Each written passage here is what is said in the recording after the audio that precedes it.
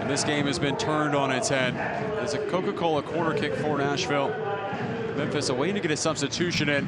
It comes in towards Rio, skipped along, turned in by Mensah. It's two in Tennessee. Nashville SC is painting this state gold.